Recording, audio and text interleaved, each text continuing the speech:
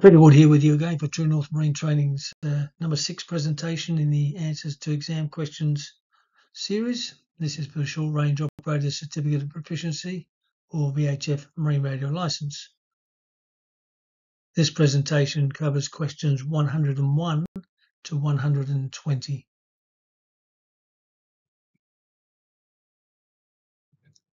Question 101. What is the total voltage when two 6 volt lead acid batteries are connected in parallel? So in parallel the voltage would stay the same. So C is the correct answer. 6 volts. Question 102. What organisation registers EPIRBs? So the organisation is AMSA, the Australian Maritime Safety Authority. C is the correct answer. Question 103. What gas is produced by charging lead acid batteries? There's the explanation taken from the Marine Radio License Handbook. The correct answer is C, hydrogen.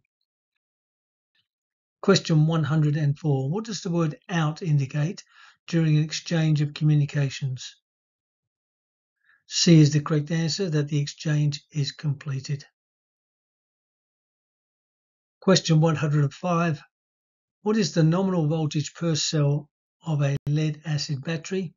So B is the correct answer, 2 volts. And again, the explanation from the Marine Radio Handbook is at the bottom of the page.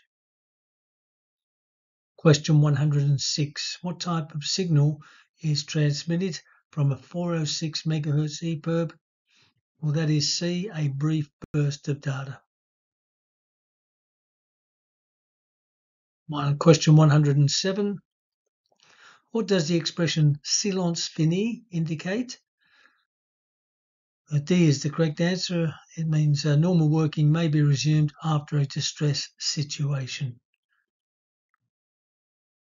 Question 108. Which of the following is the correct distress call for a VHF marine radio? So we've had this a number of times. Mayday needs to be announced three times plus special identification. So out of those choices, B would be the correct answer. Question 109. What is the total voltage when two 12 volt lead acid batteries are connected in parallel? Well, again, parallel voltage remains the same. So A would be the correct answer, 12 volts. Question 110. What must you do if you accidentally activate an EPIRB? So you must advise immediately the RCC. There's the uh, explanation taken from the Marine Radio Handbook. That would be the Rescue Coordination Centre. Question 111.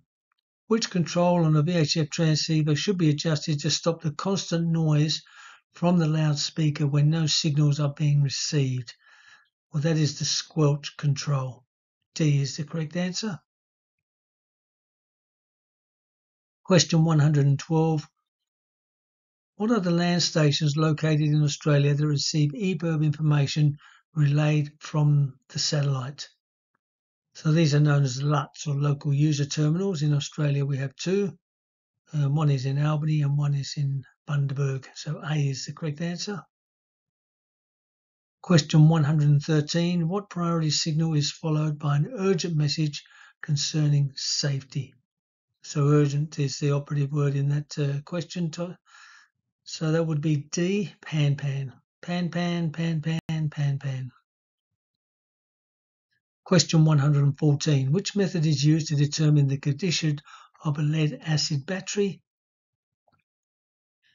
And that is where you measure the specific gravity of the electrolyte. So D is the correct answer.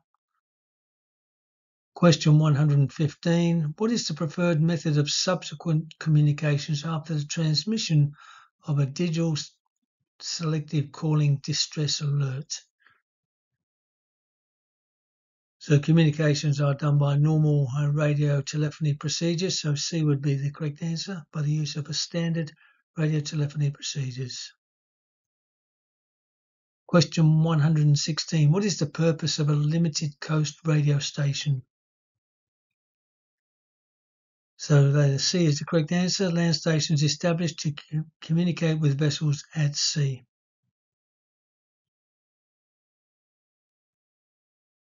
Question 117. What is the approximate duration of the orbiting satellites? So A is the correct answer, 100 minutes, and there's the explanation again taken from the handbook. Question 118. Is the COSPAS, in the COSPAS SARSAT system, what type of orbit is used by LEO satellites? Well, LEO satellites uh, are in a polar orbit there's the explanation from the handbook at the bottom of the page. So A is the correct answer. Question 119. To whom should general or routine communications be addressed? So they should be addressed to any station on working channels. A is the correct answer. And question 120. Whose authority is the vessel's radio station placed under? So C is the correct answer the master, skipper, or person responsible for the safety of the vessel. Thanks for your time once again. There you have questions in uh, presentation number six.